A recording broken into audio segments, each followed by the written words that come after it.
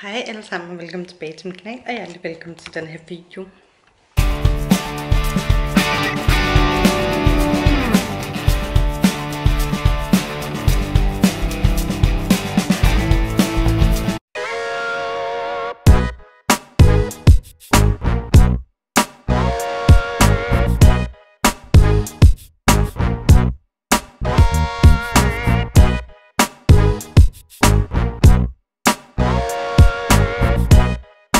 Dag der har jeg en lille vlog til jer.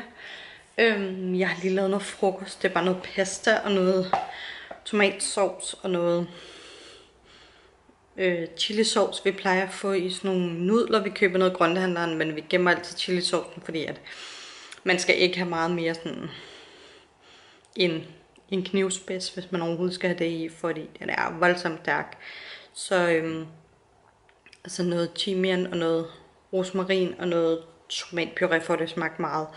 Og så tænker jeg, at jeg vil bruge resten af tomaten til noget, jeg gerne vil bage.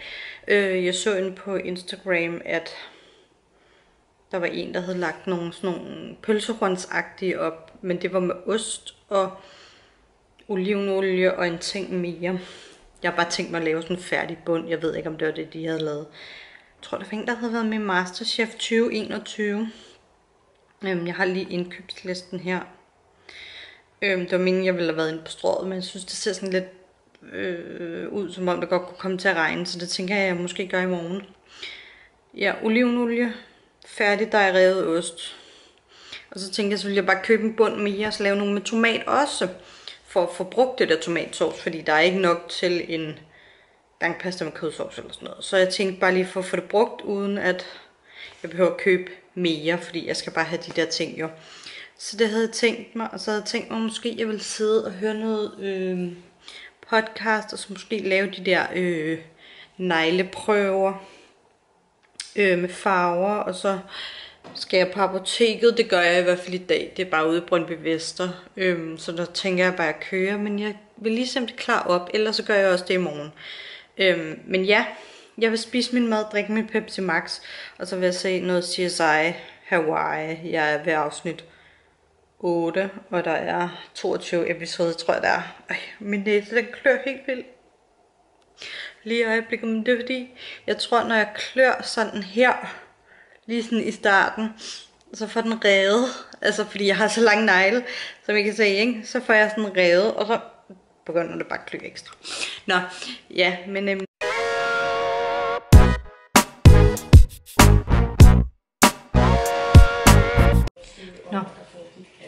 Nu har jeg sat noget mørkland på, og jeg har fundet frem til at lave nogle nye negle og øh, negleprøver, fordi at... To sekunder. Den blev ikke lige pauset. Øhm, men ja, øh, hvad hedder det nu? Øh, jeg prøvede bare at file farven af. Jeg synes, jeg var nødt til at bare lave en, en ny farve, men øhm, jeg kunne mærke, at de... Øh, jeg kom til sådan at støde ind i ting med dem, så de havde sådan fået løsnet sig, så derfor tænker jeg, at jeg bare lige laver et nyt sæt.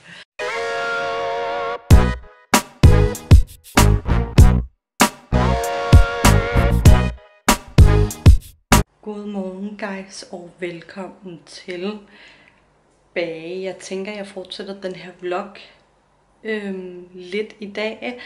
Øh, jeg skal ind på strået og se, om jeg kan få fat i de der kaffekapsler til min far. Og så skal jeg på apoteket, men det er sådan i hver sin ende af... Jeg skal til Brøndby Vester på apoteket, og så skal jeg ind på strået bagefter. Så øh, jeg vil hoppe afsted. Øhm, ja, så øh, lad os se at komme afsted. Jeg har pakket lige til det vigtigste, og så har jeg tænkt mig, jeg er blevet ret glad for at have det her net med. Der har jeg lige smidt... Wow, nu kan vi ikke lige kan vi ikke lige styre det? Ej, nu sidder det fast. Nå, jeg har blevet ret glad for det her Ladybox net. Der har jeg bare lige puttet en øhm, hvad hedder den, toilettaske med noget neglelim, hvis jeg skulle miste negle negl og læbromad og sådan nogle ting. Og så øh, har jeg tænkt mig lige at tage min cardigan derned i, fordi jeg tror, det er pænt varmt, og ellers så kan jeg tage cardiganen på. Men øhm, jeg vil sådan set hoppe afsted. Hej! Og nu er jeg Hvordan kan batteriet være tom? Det var helt fuldt, da jeg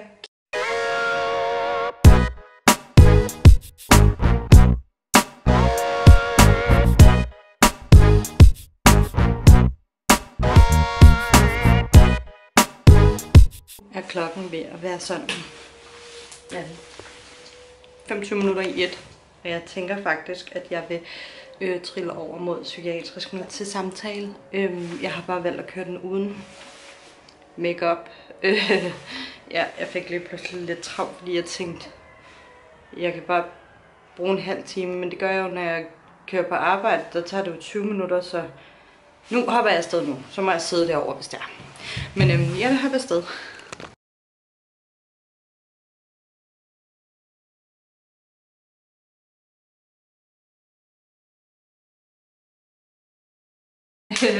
Jeg, jeg har ikke så meget plads her på bordet, fordi jeg er stadig i gang med det der negleprøve show.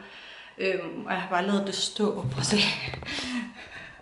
bare helt... Øh, håber, I kan se noget. Der er også goodieboksene. Øhm, men der er i hvert fald bare farver og alt muligt legnet op her. Øhm, nå, jeg er kommet hjem fra Glostrup Psykiatrisk, og jeg har lige handlet en lille smule toiletpapir, fordi jeg sad i morges, inden min kæreste var gået i seng, og fandt så ud af, at der ikke var mere, og jeg sad ude på toilettet. Øhm, rigtig fedt, der var hverken ude i kammeret eller øh, på toilettet, så øhm, det måtte jeg lige købe. Jeg havde heldigvis lige nogle servietter, jeg kunne bruge, så jeg kunne få, hvad hedder sådan noget, tørret mig, men ellers havde jeg været på den. Ej, så havde man bare lige kunne hoppe i bad eller et eller andet, ikke? Men øhm, ja, det var i hvert fald løsningen på øh, toiletpapir, og jeg har toiletpapir nu, kan man sige. Så har jeg lovet min kæreste, at vi skal hotdogs, så jeg har faktisk købt, normalt vil jeg nok hellere have nogle fuldkorns, sådan, fordi jeg jo gerne vil tabe mig. Men for min kæreste skyld, jeg gad simpelthen ikke købe to forskellige pakker, og jeg synes, der er så mange ting, der er steget og sådan noget, så jeg købte dem hos bageren, og det var også lækkert. Jeg tænkte, så forkæler vi lige og selv med sådan en. Så har jeg købt noget focaccia, også sådan fra bageren. Øhm, hov. Jeg har min toilet treat her fra Louis. Øhm, der har jeg bare lagt nogle forskellige, det kan jeg lige vise bagpå. efter. Men så ville jeg have haft noget lækkert sinde, fordi jeg tænkte, at nu der skulle være lækre pølsebrød, så skulle der også være lækker sennep, men jeg kunne kun finde det her øh, billige sprøj. Så det blev det. Jeg ville også have haft en øh, sukkerfri ketchup. Det havde de heller ikke. Så det blev også bare sådan en billig sprøjt, som jeg ikke er så glad for. Jeg vil hellere have noget, der er ordentligt, når det ikke er noget, man sådan bruger hele tiden, tænker jeg, fordi jeg bruger ikke særlig meget ketchup og sennep. Så. Men ja, min toilet treat havde jeg bare lige fyldt lidt op min Airpods.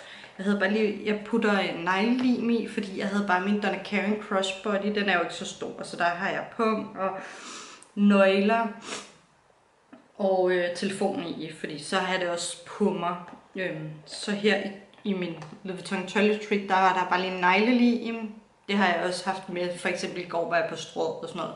En kokosnøde Body shampoo Cream og en hand sanitizer. Jeg kan ikke leve uden hand sanitizer. Jeg er så forvent fra vuggestuen, at man spritter og vasker og sådan noget. Og så havde jeg en lille lipgloss fra i går, og jeg har bare en... Øh, normalt bruger jeg den her som make-up punkt, så der ligger bare en neglelim og sådan noget. Og der har jeg jo en stor taske med, så der har jeg lidt flere rum til nogle af de her ting.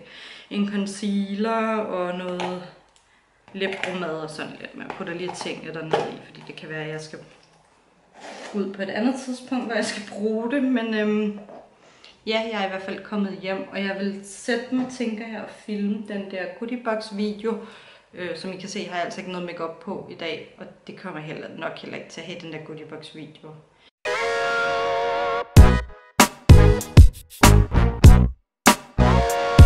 Nå, Jeg skulle lige putte noget sæbe i den der sæbedispenser, vi har herude på badeværelset. Der vil jeg bruge den, jeg fik i øh, uh, Goodiebox unboxingen, så hvis du ikke har set den, så kan jeg lige linke her i kortet et eller andet sted.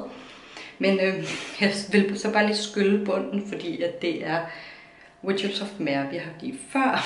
Og så synes jeg lige, jeg skal se